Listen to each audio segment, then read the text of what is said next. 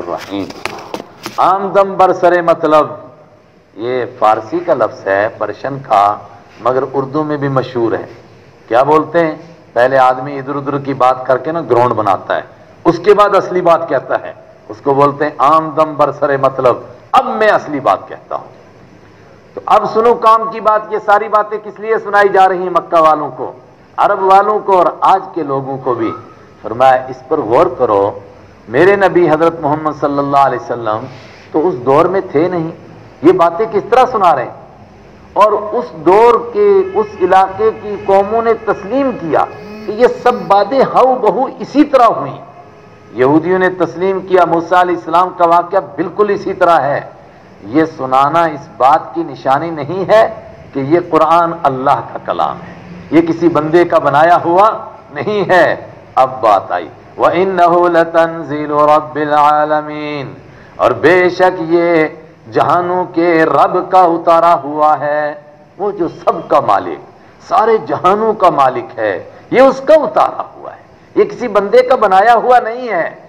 नजला बिहिर रूहुल अमीन। इसको लेकर उतरा है एक अमानतवार फरिश्ता रूहुल अमीन, हज़रत जिब्राइल। अला कल्बी का। और ये उतरा है आपके दिल के ऊपर। इंसान जो बातें समझ सकता है, उसके चंद जराए हैं। क्या ज़रिए है उसका?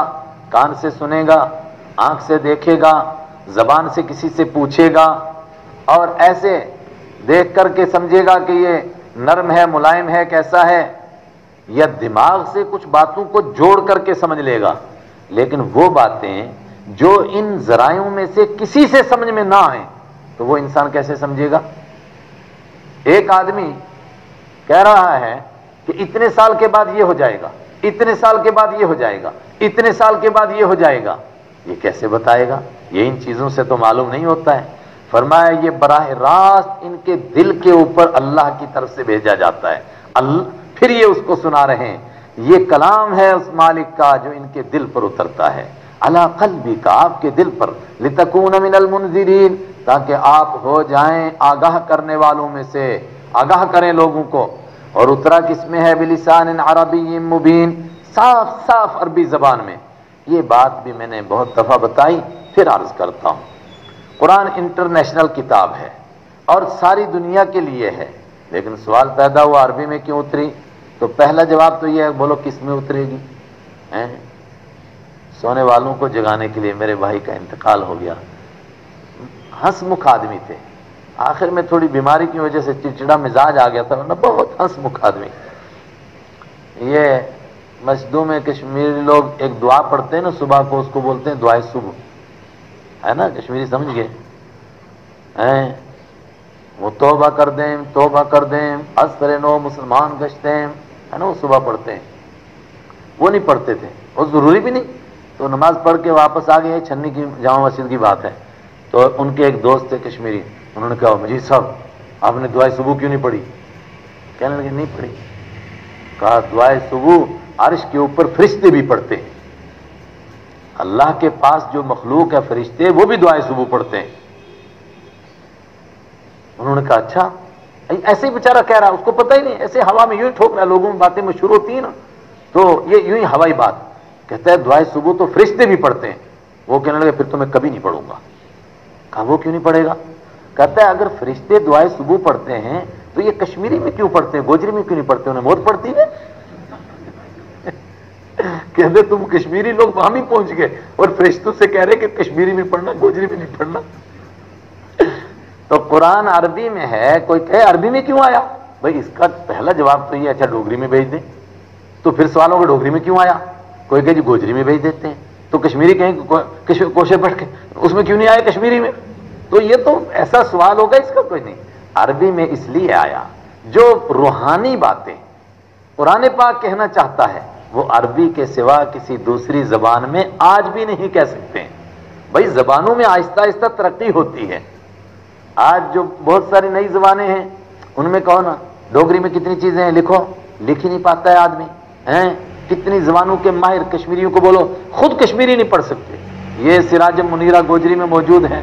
हैं, मास्टर जी, कहते, दो किताबें ली मैंने, एक अपने लिए ली, एक अपने दोस्त के लिए। उसको कहा, पढ़ के सुना। कहते, जी, मैंने पढ़नी नहीं आती। नहीं पढ़ सकते हैं लोग, मगर अरबी तरक्की याफ्ता जबान है और कायनात में सबसे पहली जबान है, ये हिस्ट्री से साबित है। क्योंकि इससे पहले अबरी है। लेकिन अबरी के जब अल्फाज देखते हैं तो वो उनकी बेस बिल्कुल अरबी मालूम होती है। बिल्कुल आज भी। जैसे पीछे आया था ना सलाद, इबादत खाने के लिए लफ्ज आए उनके यहाँ भी है, बस सिर्फ़ वो सलाद को शलाद कहते हैं। तो जरा सा लफ्ज बदल गए, हैं? अरबी में सौत है, उसी को इंग्लिश में साउंड कह दिया गया। बिल्कुल अल्फाज मिलते हुए, जो माहिर लिसानियात हैं, वो तस्लीम करते हैं कि अरबी दुनिया की सबसे पहली जबान है। और ख़ास तौर से, जिस तरह साइंस की बातें जिस तरह इंग्लिश में आदमी कह सकता है, इस तरह दूसरी जबान में नहीं है आसान, क्योंकि उसी में वो फन सबसे पहले ईजाद हुआ है। इस तरह रूहानियत की बातें जो अरबी में कही जा सकती हैं, वो किसी दूसरी जबान में नहीं। पहले उसमें अरबी में समझेंगे, फिर उसको दूसरी जबान में समझ जाएगा आदमी।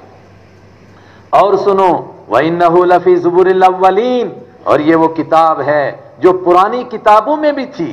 पुरानी किताबों में थी मतलब तौरात में, इंजील में, जबूर में, विदाज में, उपनिषद में, हर एक मजहबी किताब के अंदर इसका तस्करा मिलेगा। और ये मजमून लंबा हो जाएगा, वरना हम साबित करेंगे, हर एक किताब के अंदर कहीं ना कहीं ज़िक्र आता है, हज़रत मोहम्मद सल्लल्लाहु अलैहि वसल्लम का और कुरान पाक का। और दूसरे माना, जो कुछ कुरान कह रहा है, ये बातें पहली किताबों में मौजूद है। कुरान जो कह रहा है, कोई दांत तोड़े, उसका दांत तोड़ दो, ताकि दूसरा कोई किसी का दांत तोड़ने की हिम्मत ना करे।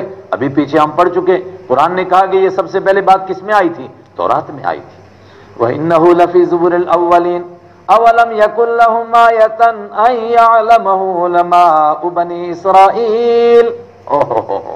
क्या अजीब अंदाज है। फरमाया, क्या मक्का वाले इस बात से भी नहीं समझे कि मक्का के लोग तो अनपढ़ हैं, मगर यहूदी और ईसाइयों के जो ओलमा हैं, वो जानते हैं इस कुरान को और वो कहते हैं कि वाक्यतन ये रब का कलाम है। वलो बादिल आजमीन। मक्का के काफिर एक अजीब बात कहते थे। कहते थे, अगर खुदा ने कोई किताब भेजनी ही थी तो फिर किसी गैर अरबी के ऊपर क्यों नहीं भेज दी किताब? और मैं अगर गैर अरबी पर होती इंग्लिश में किताब होती, तुम समझते उसको? क्या बात कर रहे वलो नजलना हूँ और अगर हम इसको उतारते आला बादिल आजमीन किसी अजमी आदमी के ऊपर फ़करा अलैहिम, फिर वो इसको इनके सामने पढ़ता, माँ कानू भी मुमिन तब भी तो ये मानने वाले नहीं थे। तो फिर ये बातें क्यों कहते हैं कुरान के बारे में? कजाली का सलक ना फ़ी कुलूबिल मुजरिमीन। इसी तरह ये इनकार वाली बातें कि नहीं मानना हमने। ये क्रिमिनल लोगों के दिलों में घुसा देते हैं, जो जराइम पेशा लोग हैं, गंदे काम करने वाले लोग हैं, उनको फिर सच समझ में आता ही नहीं। जैसा अभी हमने कल पढ़ा था ना, कि आप सच्चे हैं और झूठों को सच अच्छा नहीं लगता है। ला यूमिनून भी वो नहीं मानेंगे इसको। हत्ता यरबुल अलीम। यहाँ तक कि वो दर्दनाक अजाब को देख लें। अगर उसी का इंतज़ार है, फयातियाहुम बगता तो वो अजाब आ जाएगा अचानक ही। वह हमला यशरून और इनको पता भी नहीं चलेगा। फयकूलून। तो फिर ये कहेंगे, हल नहनु क्या हमको मोहलत दी जाएगी। जब अजाब आएगा, फिर मोहलत मिलेगी। अफबी अजाब ना यस्ताजिलून। तो क्या ये हमारे अजाब के लिए जल्दी करते? रहमत आलम आप गौर तो कीजिए, अगर हम इनको ज़िंदगी गुजारने का सामान दें सनीन कई सालों तक सुम जा कई सालों के बाद फिर आ जाए माँ, वो अजाब। कानू यू आदून जिससे इनको डराया जाता है। अब इनको पूछा जाएगा, जो इतने साल तुम जीते रहे, उस जीने से कोई फ़ायदा हुआ? मा अगना अनकुम, नहीं, काम आएगा इनको, मा कानू युमत्तऊन। जो उनको ज़िंदगी गुजारने का सामान दिया गया था इतने अरसे तक। वह मा अहलकना मिन करियतिन, और सुनो, आज तक जितनी बस्तियाँ हलाक हुई, वो तब हलाक हुई, पहले अल्लाह ने उनके लिए कोई डराने वाला भेजा, ए मक्का वालों, तुम्हारे पास भी डराने वाला आ चुका है। अब अगर तुम नहीं मानोगे, तुम पर भी अजाब आएगा। वमा हलक नामिन करियतिन, और नहीं हलाक किया हमने किसी बस्ती को, इल्ला मुंजिरून मगर उनके लिए एक आगाह करने वाले थे। जिक्रा समझाने के लिए, नसीहत के लिए। वमा कुन्ना जालिमीन, और इसलिए हम समझाने के लिए भेजते हैं कि हम जालिम नहीं है। क्यामत के दिन कोई कहे, हमें समझाया ही नहीं गया, हमें बताया ही नहीं गया। तो ये तो जुल्म। फरमाया, हम जालिम नहीं, हम पहले भेजते हैं समझाने वालों को। अब दो एतराज़ का जवाब है, बात तवज्जो से सुनेंगे। बस, खत्म होने वाली है। हम अपने वक्त पर इंशाल्लाह पूरा करेंगे। दो एतराज़। क्या एतराज़ थे? एक तो वो कहते थे कि असल में कोई ओपरी मखलूक है। हमारे यहाँ ओपरी बोलते हैं जिन। कोई जिन है जो इनको आकर बता जाता है ये कुरान की बातें। और ये उनको सिखा देता और ये फिर हमें धौस जमाते हैं और हमें आकर के सुनाने लगते हैं। अब हमसे मुकाबला तो इसको होता नहीं, लेकिन ये इनको कोई जिन सिखा गया है। जवाब देता है कुरान इसका। वमा तनजलत भी शयातीन। और इस कुरान को लेकर के शैतान नहीं उतरे हैं। वमा यम बगीला और शैतानों के लिए ये बात मुनासिब ही नहीं है। भाई, शैतान तो शैतानी के काम करते हैं, वो अच्छे काम करते हैं कभी। कोई आदमी किसी को कहा जाए कि ये फला काम किसने किया, कहा फला बदमाश ने। अरे, बदमाश अच्छे काम करता तो बदमाशी क्यों रहा? शैतान का काम है गंदे काम करना। तो क्या शैतान अच्छी बातें बताएगा? जिन्हों में से नेक भी हैं, मगर नेकों का तो ये काम नहीं। वह मैं तनजरत भी शयातीन इसको लेकर शैतान नहीं उतरे। वह बगी लहम, और शैतानों के लिए मुनासिब भी नहीं। वमा यस्तून और वो इसकी ताकत भी नहीं रखते हैं कि ऐसी, ऐसा कुरान बना सकें। अगर शैतान बनाते हैं तो तुम शैतानों से मदद लेकर के बना लो। इन नमाजूलून बेशक वो तो इसके सुनने से भी दूर रखे जाते हैं। वो तो इसके सुनने से भी सबसे पहले जब फरिश्ते इसकी तिलावत करते हैं तो वो सुन नहीं पाते हैं। अलबत् तब अन इंसान जब पढ़ता है कुरान तो शैतान तो तब भी नहीं सुन सकता है। तो जो इसको सुन ना सके, वो इसको बना सकेगा। और ये बात कि वो कहते थे, आपके ऊपर शैतान ने ये उतारा है, इसके लिए हमारे पास सबूत है। अबू लहब, जो आपका चाचा था सका चाचा, मगर दुश्मन, उसकी बीवी क्या कहती थी? कुछ दिन वही नहीं नाजिल हुई। बुखारी की रिवायत है उसने कहा, हल तरह का कशैतान का, क्या तुझे तेरे शैतान ने छोड़ दिया? अब आता नहीं वो तेरे पास कोई वही लेकर के? ये था उनका जहन। फला तदर मेरे नबी, ये तेरे रब का कलाम है। इसका एक ही पैगाम है, फला तदल्लाह उस अकेले अल्लाह के साथ किसी को मत पुकारो। फतकून मुआजबीन अल्लाह अकबर। अगर उसके साथ आप भी पुकारेंगे, आप भी हो जाएँगे अजाब दिए हुए। हालाँकि आप ऐसा कर सकते नहीं हमको समझाने के लिए। और इस कुरान के ज़रिए से अपने करीबी रिश्तेदारों को समझाओ। अपने घर से शुरू करो, करीबी रिश्तेदारों को समझाओ। ये वो आयत है जिसके लिए मैंने कहा था कि एक आयत है जिससे पता चलेगा कि ये सूरत सन चार हिजरी में नाजिल हो चार नबवी में नाजिल हो चुकी थी। यानी आपकी उम्र हुई चालीस साल की। चालीस साल के बाद आपने नबूवत का ऐलान फरमाया, समझाना शुरू किया। उसके तीन साल बाद तक आप चुपके चुपके लोगों को समझाते रहे। और इस चुपके चुपके कितने लोग जुड़े? इबन हिशाम ने कहा, चालीस लोग। और उसने चालीस लोगों की लिस्ट भी पेश की। उसके बाद अल्लाह की तरफ़ से यह आयत आई। इसमें कहा गया, अपने करीबी रिश्तेदारों को समझाओ।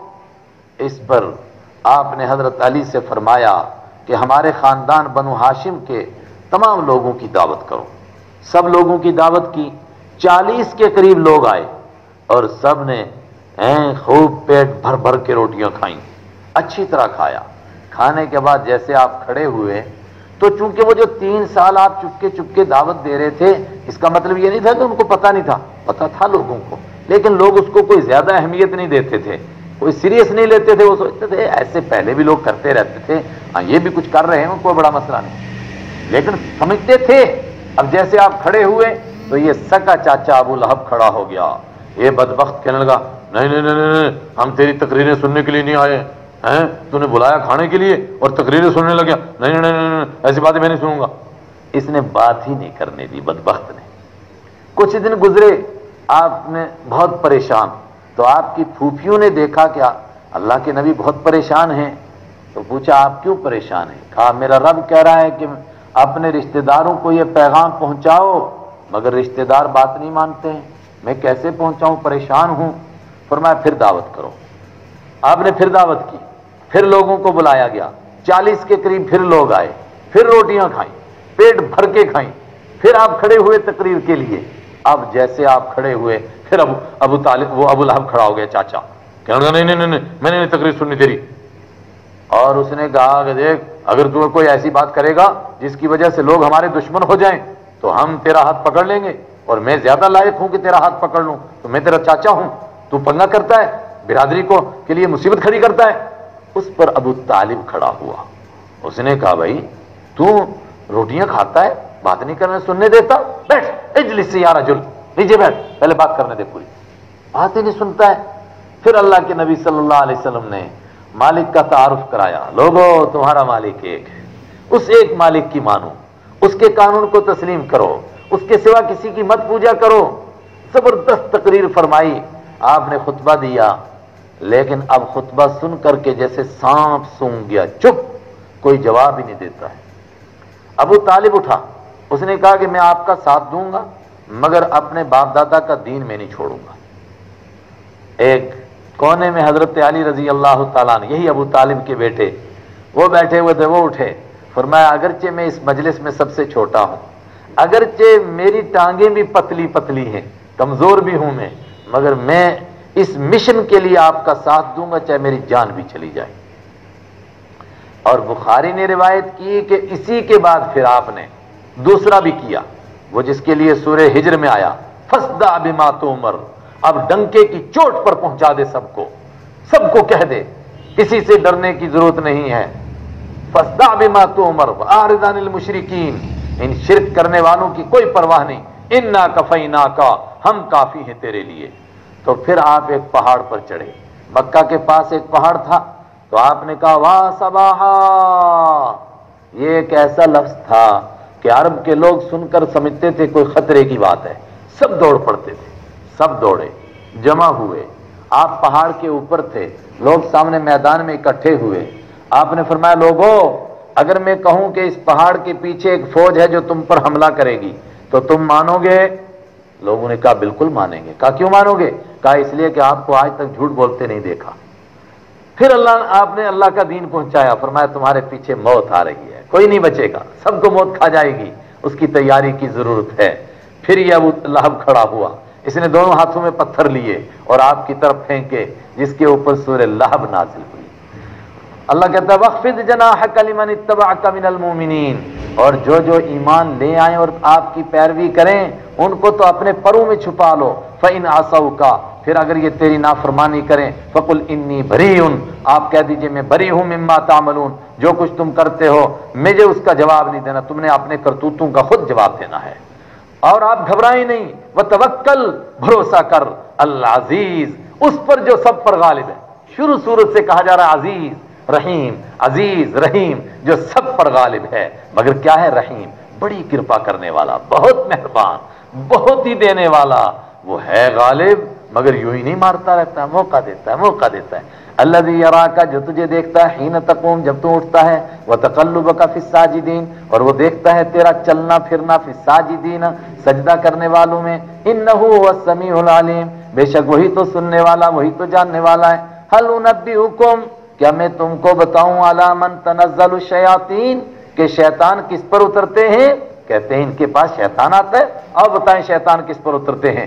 तनजल वाला कुल्ली अफ़ाकिन नसीम। उतरते हैं वो अला कुल्ली अफ़ाकिन हर एक झूठे पर। अफाक बड़ा झूठा, असीम बड़ा गंदा इंसान। उन गंदे लोगों के ऊपर गुनागारों पर शैतान आते हैं। और शैतान क्या करते हैं? युल्कून समा सुनी सुनाई बातें उनको सुनाते हैं। वह अक्सर काजिबून, और उनमें से अक्सर लोग झूठे होते हैं। एक बात का जवाब हो गया कि ये शैतानों का कहा हुआ, दूसरी बात बाकी बच गई थी कि आप शायरी करते हैं। क्या करते थे? शायरी है जी, कविता लिखते, नजमें लिखते, गजलें लिखते, फिर सुनाते हैं लोगों को। कमाल बात है। ये शायरी तुम्हें नज़र आ रही है।